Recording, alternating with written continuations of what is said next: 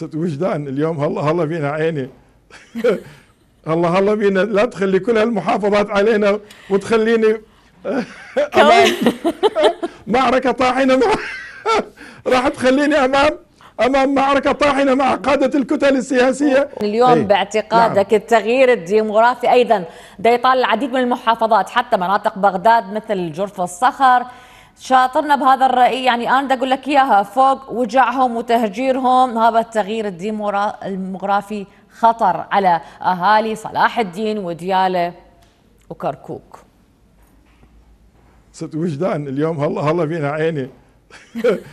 هلا هلا بينا. لا تخلي كل هالمحافظات علينا وتخليني أمام.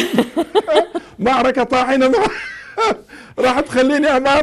أمام معركة طاحنة مع قادة الكتل السياسية والله اللي هم النائب يعني. القومية التركمانية. والله والله بعد من الاوغاد كل شيء ما ينطون للتركمان. حتى رئاسه إن شاء الله. إن شاء الله إن شاء الله. إن شاء الله أهل كركوك وباقي المحافظات كلهم بخير وسلامة يا ربي. إن شاء الله. يعني نعم. اولا نعم التمييز موجود أيضا بالمحافظات الأخرى لكن قدر تعلق الأمر بنا كلجنة أنا من تجيني شكوى أمشيها.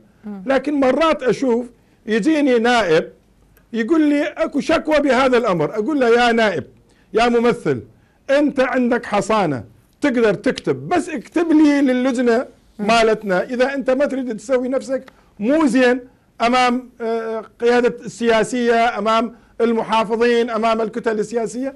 بس اكتب بالطلب مالك انطيني إياه أني أتصرف. بس أني ما يصير أتصرف أنه آخذ شكوى من نائب فقط لفيف من المواطنين. نعم. هذا ما يصير.